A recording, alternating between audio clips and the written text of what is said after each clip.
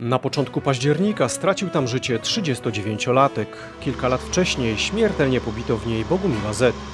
Ciesząca się złą sławą kamienica przy ulicy Teofila Królika w Tarnowskich Górach została w ubiegłym tygodniu wyburzona.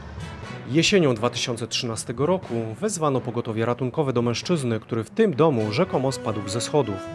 Ratownicy zobaczyli leżące w łóżku zwłoki z raną rąbaną głowy i wyłupanym okiem. Jak wyjaśniła później policja, kilka godzin wcześniej mężczyzna złożył niewybredną propozycję sąsiadce i z tego powodu został śmiertelnie pobity przez jej konkubenta i jego kompana. Kamienica, nazywana przez niektórych mieszkańców domem straceńców, była w złym stanie, także dlatego, że część lokatorów dewastowała mieszkania. W końcu władze miejskie wysiedliły mieszkających tam ludzi i sprzedały dom. Nowy właściciel zamurował okna i zabił drzwi dechami.